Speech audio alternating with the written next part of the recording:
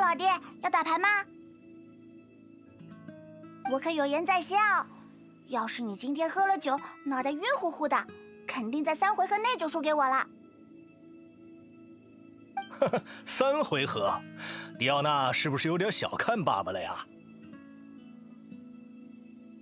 再怎么说也能拖到五回合吧？一样是输，那有什么好骄傲的？上次臭老爹你还指着水元素的头子对我说是冰元素，气死人啦！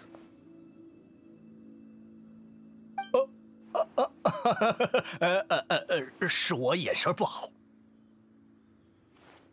是酒不好，不许为他辩护。呃，好好好，呃，是酒不好，那今天就先不喝了，一滴也不碰，这下总行了吧？勉勉强强。呃，那我要是赢了迪奥娜呢？有没有什么奖励？啊！想我给你做一杯特调，门都没有。呃，如果呃是在五回合之内赢的呢？